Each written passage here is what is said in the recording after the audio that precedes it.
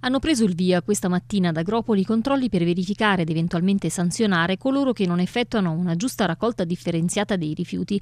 Nei giorni compresi tra l'inizio del nuovo calendario di conferimento, che ha preso il via il primo aprile scorso, ed oggi, gli operai della Sarim, gestore del servizio di igiene urbana sul territorio comunale, hanno provveduto a raccogliere solo i rifiuti depositati dagli utenti in maniera conforme, lasciando in loco il rifiuto non corrispondente alle prescrizioni. Una larga fetta di popolazione rispettosa delle nuove regole ha consentito di raggiungere la rispettabile percentuale del 71% di raccolta differenziata.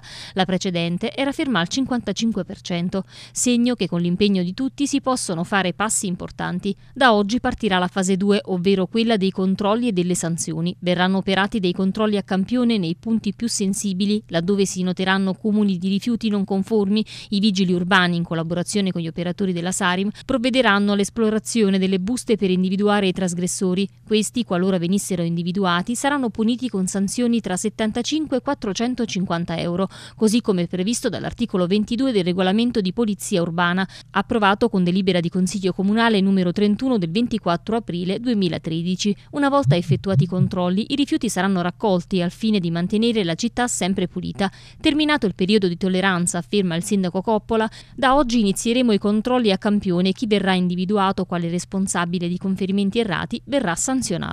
Come detto più volte, fare una giusta raccolta differenziata consente di evitare aumenti della tariffa Tari. Inoltre, migliorare la percentuale al 65% è un'imposizione di legge. Non possiamo consentire che la città si presenti sporca a causa di quei pochi che non vogliono adeguarsi a quello che è un dovere civico. Da qui l'avvio dei controlli e le sanzioni per chi non rispetta poche e semplici regole.